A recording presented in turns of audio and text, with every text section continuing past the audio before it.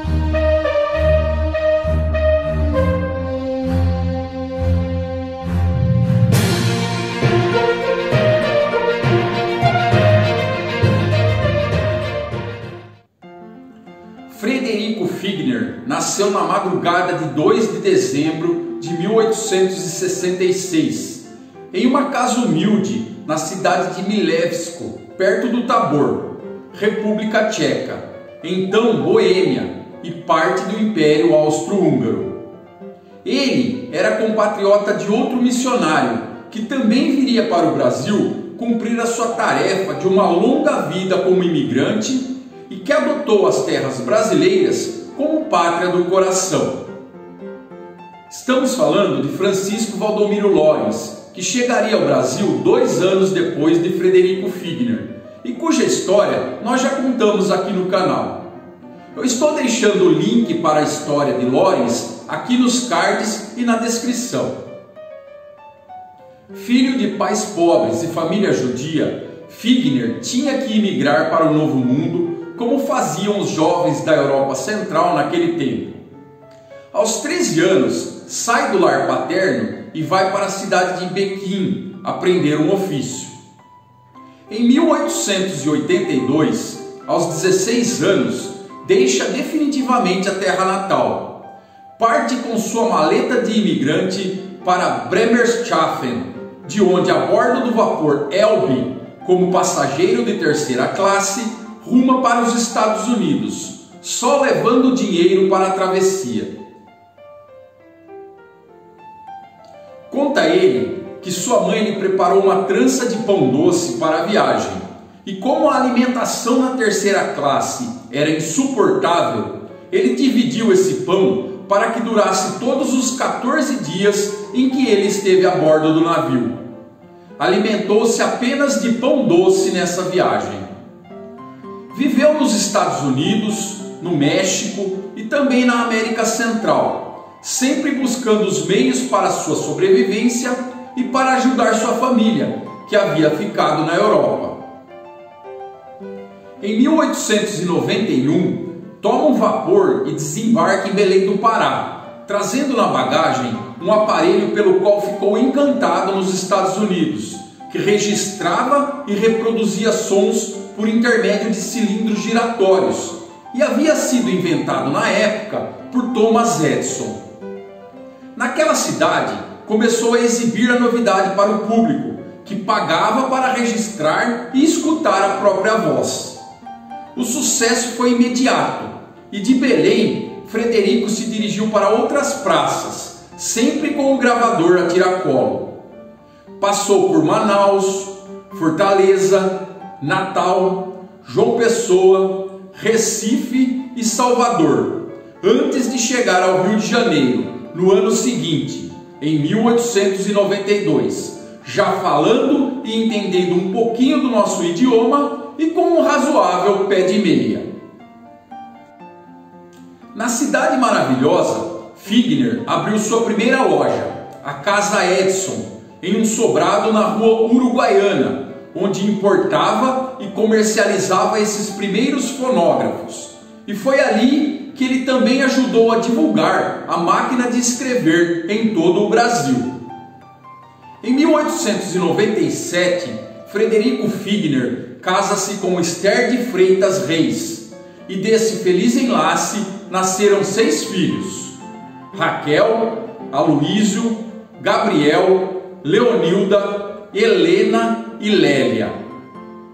Com seu espírito empreendedor, Figner foi crescendo financeiramente e trazendo para o Brasil diversas novidades tecnológicas da época, como o gramofone e o disco, que ainda eram fabricados em cera de carnaúba e não em vinil. Em 1900, ele transfere sua loja para Rodolvidor, onde inaugura o primeiro estúdio de gravação e varejo de discos no Brasil. Os discos fabricados por Figner nessa fase inicial eram gravados em apenas uma das faces e tocados em vitrolas movidos a manivela. Apesar das limitações técnicas, essa iniciativa representou uma verdadeira revolução para a música popular brasileira, que engatinhava, pois até então os artistas só podiam se apresentar ao vivo ou comercializar suas criações por intermédio de partituras impressas. Mais e mais artistas começaram a gravar suas composições em discos, que eram distribuídos pela Casa Edson do Rio e também pela filial que Figner havia aberto em São Paulo. A procura pelos discos cresceu tanto que em 1913 ele decidiu instalar uma indústria fonográfica de grande porte na Avenida 28 de Setembro, Vila Isabel, dando origem ao consagrado selo Odeon.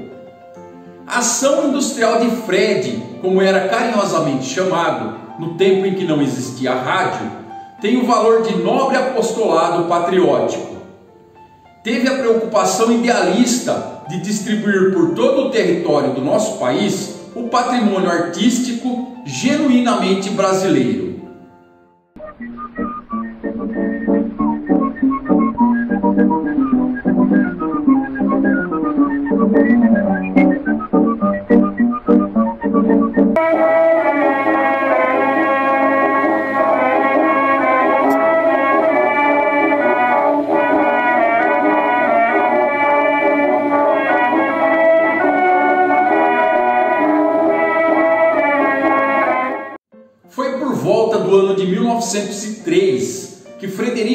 Figner foi apresentado ao Espiritismo por meio de um amigo que lhe frequentava a loja. Pedro Saião, filho de Antônio Luiz Saião, reconhecido trabalhador da Federação Espírita Brasileira e irmão da famosa cantora Bidu Saião. O moço já frequentava a loja de Figner fazia uns dois anos e sempre palestrava sobre Espiritismo e Cristianismo sem que Frederico se impressionasse muito pelo assunto. Porém, numa de suas visitas ao seu estabelecimento de São Paulo, Figner ouviu a história dolorosa de um empregado seu, cuja esposa se achava gravemente enferma e necessitava de melindrosa intervenção cirúrgica. Ao regressar para o Rio, Figner pediu a Pedro Saião lhe obtivesse receita para a cura da enferma de São Paulo veio a receita e a cura da doente, sem intervenção alguma dos médicos. Foi esse fato que inclinou Figner a favor do espiritismo. A partir de então, já se encontram vestígios de suas atividades junto à Federação Espírita Brasileira. Ali, ele assumiu funções de vice-presidente, tesoureiro e membro do Conselho Fiscal.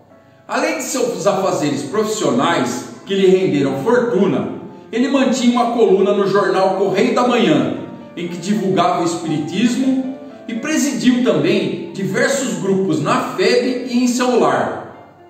Publicou livros sempre custeando as edições. Foi à Inglaterra e visitou então Sir Arthur Conan Doyle e outros grandes vultos do espiritismo inglês. Alma generosa, chegou a acolher em sua própria casa 14 enfermos, vítimas de surto da gripe espanhola que assolou nosso país em 1918 e que conduziu muitos à morte. Se não estava na FEB ou na sua empresa, estava andando de um bairro a outro e levando consolo, medicamentos, alimentos, roupas ou dinheiro aos necessitados. Pelo seu trabalho, se tornou amigo de muitos artistas e, vendo a dificuldade financeira de alguns ao chegarem à velhice, ele comprou um terreno e construiu o Retiro dos Artistas, em Jacarepaguá, que existe até os dias de hoje. Seu trabalho em tomar ditado de receitas espíritas e dar passes a enfermos celebrizou-se em sua época. Chegava a anotar entre 150 e 200 receitas por dia e atender inúmeros necessitados que conheciam sua dedicação pelos jornais. Fred Figner trabalhou até poucos dias antes de sua morte, aos 82 anos em 19 de janeiro de 1947. Ao se abrir o seu testamento, verificou-se que ele havia destinado parte substancial dos seus bens às obras sociais de Francisco Cândido Xavier.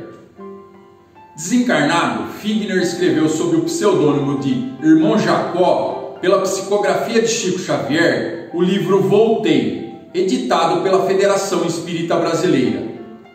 Se não deixou uma grande obra literária enquanto encarnado, deixou-lhes o seu testemunho de como despertou na espiritualidade. Trouxe-nos ensinamentos importantes através da autocrítica e reencontro com sua consciência desprendida da matéria. Admitiu os apegos à autoridade e o seu orgulho. E esse então foi o nosso personagem do Espiritismo dessa semana. Frederico Figner. Deixem aqui nos comentários se vocês já conheciam a história desse grande trabalhador do Espiritismo. Eu peço a vocês que deixem o like e compartilhem o, o vídeo e o canal com seus amigos, em seus grupos e em suas redes sociais, para nos ajudar a cada vez mais divulgar a doutrina espírita. Eu peço também que se inscrevam no canal aqueles que ainda não forem inscritos e ativem o sininho para receber a notificação sempre que publicarmos um vídeo novo por aqui. E nos sigam também lá pelo Instagram para ficar sabendo com antecedência quem será o nosso próximo personagem do Espiritismo. Fiquem com Deus e até o próximo vídeo.